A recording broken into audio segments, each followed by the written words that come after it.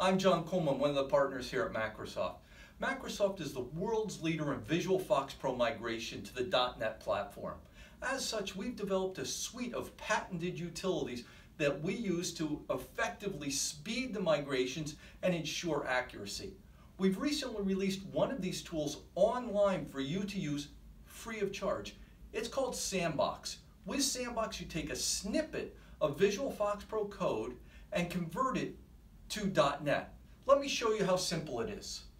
Simply navigate to our website where you'll find the Sandbox option and paste on the left-hand side the Visual FoxPro code. And I've just pasted a short little application. I'll translate that to C Sharp.